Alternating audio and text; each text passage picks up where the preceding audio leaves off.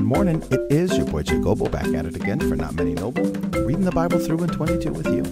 It is October 25th today. That means we've been reading the Bible together for 298 days, and we have 67 days left to go. That's it. It is Crisp Sandwich Day today, World Pasta Day, National Greasy Foods Day, International Artist Day, Sourest Day. Instead of Sweetest Day, Sourest Day. It's interesting, International Artist Day. I'm not much of an artist really, but there is someone else with my same name, Jacob Goble. That's me, by the way. He's an artist out here in the Chicago area. I've never met him, but he has been an artist for a long time, I think. And hmm, it's interesting. I was thinking about maybe I should track him down, introduce myself. Hello, Jacob. My name is Jacob. How are you? you oh, J- Goble? That's me too. And then there's now there's other namesakes, people with the same name. I don't know. I, I just I thought I didn't realize. Sorry, I didn't realize that there would be so many with the exact same name as I, because I normally never meet any other Gobles. Period. And then to find out there's another Jacob within an hour, and then there's another one within like a three-hour drive. It's like they're all over the place. Get out of here. What's wrong with you? Anyhow, this Jacob Goble is reading the Bible through in chronological order from beginning to end. Now we got to the end of the Old Testament, and as we transitioned into the New Testament, we decided to read each gospel separately. Just because of the nature of the gospels, and I didn't want to try and piece them all together because they're not written chronologically like that. They're written thematically, not necessarily chron- chronologically. Of course, there are parts that are chronologically or ordered chronologically, but that doesn't mean that they were written chronologically. Okay, cool. So we're in John 19 today in the World English Bible translation. We're going to read John 19 and 20. And we are at the end of the Passion Week here for Jesus. He is going to the cross to die for the sins of the world, of humanity. Um, here we go. So Pilate then took Jesus and flogged him. The soldiers twisted thorns into a crown and put it on his head and dressed him in a purple garment. They kept saying, Hail, King of the Jews, and kept slapping him. Then Pilate went out again and said to them, Behold, I bring him out to you, that you may know that I find no basis for a charge in him. Jesus therefore came out wearing the crown of thorns and the purple garment. Pilate said to them, Behold the man. When therefore the chief priests and the officers saw him, they shouted, saying, Crucify, crucify. Pilate said to them, Take him yourselves and crucify him, for I find no basis for a charge against him. The Jews answered him, We have a law, and by our law he ought to die, because he made himself the Son of God. When therefore Pilate heard this saying, he was more afraid, which is kind of strange, right? Why would be afraid of that? Because this man was unusual, unlike anything he'd ever seen before. And maybe he started thinking, right? Because Jesus had just told him, he had just told him that, um, he, well, let me go back to it real quick here. That after after he gets imprisoned and he gets delivered over to Pilate, he says to him, um, bum, bum, bum, bum, bum, "Are you the king of the Jews?" And he says, uh, my kingdom is not of this world. If my kingdom were of this world, then my servants would fight, that I wouldn't be delivered to the Jews. But now my kingdom is not for here, from here.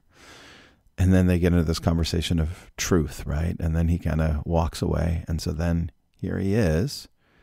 Here he is. Now getting more context into what he's gotten himself into. And he, I mean, he had told him, sorry, backing backing up just a little bit again, you would have no power at all. Sorry, he's going to get into it right now. He entered into the praetorium again and said to Jesus, Where are you from? Jesus gave him no answer. Pilate therefore said to him, Aren't you speaking to me? You ain't you oh, you ain't talking to me?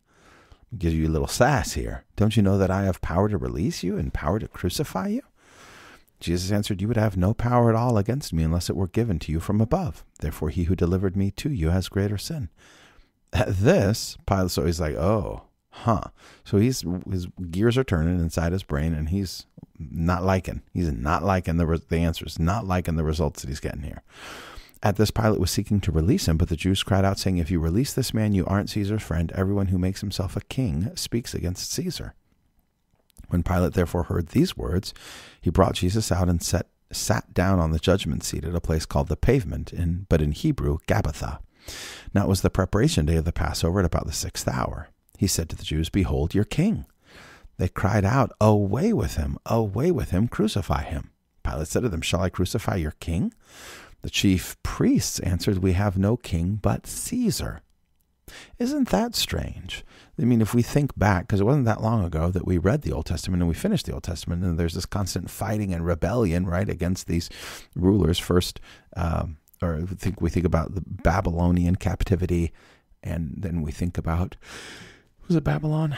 Was Babylon? Assyria? It was Assyria and Babylon. We think about the, the nature of this tumultuous relationship between the Jews being conquered by these um, outsiders, and the fact that they were they were rebellious. They didn't like being they didn't like being conquered. They were they were fighters.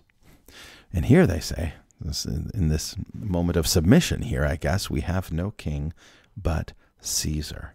So then he delivered him to be crucified. So they took Jesus and led him, led him away.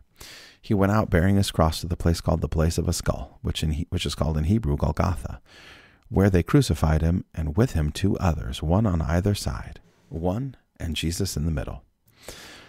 Pilate wrote a title also and put it on the cross. There was written, Jesus of Nazareth, the King of the Jews. Therefore, many of the Jews read this title, for the place where Jesus was crucified was near the city, and it was written in Hebrew, in Latin, and in Greek. The chief priests of the, of the Jews therefore said to Pilate, Don't write the king of the Jews, but he said, I am the king of the Jews. Pilate answered, What I have written, I have written. Then the soldiers, when they had crucified Jesus, took his garments and made four parts, to every soldier a part, and also the coat. Now the coat was without seam, woven from top throughout. Then they said to one another, Let's not tear it, but cast lots for it to decide whose it will be that the scripture might be fulfilled, which says, They parted my garments, they parted my garments among them, for my cloak they cast lots. Psalm twenty two eighteen. Therefore the soldiers did these things. But standing by Jesus' cross were his mother, his mother's sister, Mary, the wife of Clopas, and Mary Magdalene. Therefore, when Jesus saw his mother, the disciple whom he loved, standing there, he said to his mother, Woman, behold your son. Then he said to the disciple, Behold your mother. From that hour the disciple took her to his home. After this, Jesus, seeing that all things were now finished, that the scripture might be fulfilled, said, I am thirsty. Now a vessel full of vinegar was set there. So they put a sponge full of the vinegar on hyssop and held it at his mouth. When Jesus therefore had received the vinegar, he said, It is finished. Then he bowed his head and gave up his spirit. Therefore the Jews, because it was the preparation day, so that the bodies wouldn't remain on the cross on the Sabbath, for that Sabbath was a special one, asked of Pilate that their legs might be broken and that they might be taken away. What callousness! Here we are, trying to be so holy that we're going to crucify people, this torturous way of dying, and we're going to break their legs to make sure that they die faster, because we wouldn't want you up there on our high holy day, would we? Oh, no. No, we wouldn't. Of course not.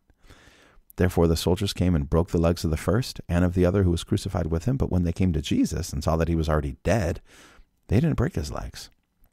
However, one of the soldiers pierced his side with a spear, and immediately blood and water came out. He who has seen has testified, and his testimony is true. It's like saying, I was there, bro. I synced it. He knows that he tells the truth that you may believe. For these things happened that the scripture might be fulfilled. A bone of him will not be broken. Exodus 12:46, Numbers 9:12, Psalm 34:20. Again another scripture says they will look on him whom they have pierced. Zechariah 12:10. After these things, Joseph of Arimathea, being a disciple of Jesus, but secretly for fear of the Jews, asked of Pilate that he might take away Jesus' body. Pilate gave him permission. He came therefore and took away his body. Nicodemus, who at first came to Jesus by night, also came, bringing a mixture of myrrh and aloes, about a hundred Roman pounds.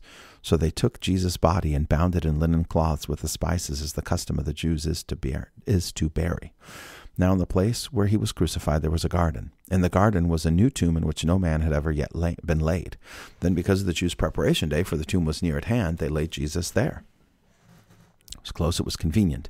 Looks like Joseph and Nicodemus were both secretly disciples, right? But They were afraid, afraid of what that might mean for them. Sometimes we're like that, I think. Disciples, but secretly, secretly. I mean, I don't want I don't want people thinking I'm too religious here. Now, on the first day of the week, Mary Magdalene went early while it was still dark to the tomb and saw the stone taken away from the tomb. Therefore she ran and came to Simon Peter and to the other disciple whom Jesus loved, and said to them, They have taken away the Lord out of the tomb, and we don't know where they have laid him. Therefore Peter and the other disciple went out, and they went toward the tomb. They both ran together. The other disciple outran Peter, I'm faster than you, bro, and came to the tomb first. Stooping and looking in, he saw the linen cloths lying, yet he didn't enter in. Then Simon Peter came, following him, and entered into the tomb.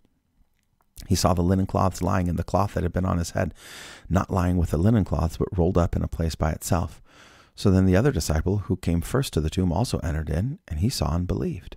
For as yet they didn't know the scripture, that he must rise from the dead. But the disciples went away again to their own homes. But Mary was standing outside the tomb, weeping. So as she wept, she stooped, stooped and looked into the tomb, and she saw two angels in white sitting, one at the head and one at the feet, where the body of Jesus had lain. They asked her, Woman, why are you weeping? She said to them, Because they have taken away my Lord, and I don't know where they have laid him. When she had said this, she turned around and saw Jesus standing and didn't know that it was Jesus. Jesus said to her, Woman, why are you weeping? Who are you looking for? She supposing him to be the guard, being the she supposing him to be the gardener, said to him, Sir, if you have carried him away, tell me where you have laid him, and I will take him away. Jesus said to her, Mary. She turned and said to him, Rabboni, which is to say, teacher. Jesus said to her, Don't hold me, for I have yet I haven't yet ascended to my Father, but go to my brothers and tell them, I am ascending to my Father and your Father, to, to my God and your God. Mary Magdalene came and told the disciples that she had seen the Lord and that he had said these things to her. When therefore it was evening on that day, the first day of the week, and when the doors were locked where the disciples were assembled for fear of the Jews, Jesus came and stood in the middle and said to them, Peace be to you. When he had said this, he showed them his hands and his side. The disciples therefore were glad when they saw the Lord. Jesus therefore said to them again, Peace be to you. As the Father has sent me, even so I send you. When he had said this, he breathed on them and said to them, Receive the Holy Spirit. If you forgive anyone's sins, they have been forgiven them. If you retain anyone's sins, they have been retained. But Thomas, one of the twelve, called Didymus, wasn't with them when Jesus came. The other disciples therefore said to him, We have seen the Lord. But he said to them, Unless I see in his hands the print of the nails, put my finger into the print of the nails, and put my hand into his side, I will not believe. After eight days again his disciples were inside, and Thomas was with them. Jesus came, the doors being locked, and stood in the middle, and said, Peace be to you. Then he said to Thomas, Reach your finger and see my hands. Reach here your hand and put it into my side. Don't be unbelieving, but believing. Thomas answered him, My Lord and my God. Jesus said to him, Because you have seen me, you have believed. Blessed are those who have not seen and have believed.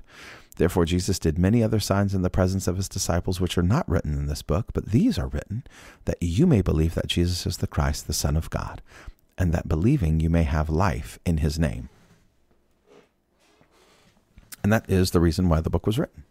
That's the reason for John, not to give us a chronological account of everything that happened in Jesus' life, kind of the reason why we broke it up but instead that we might believe. Let's pray.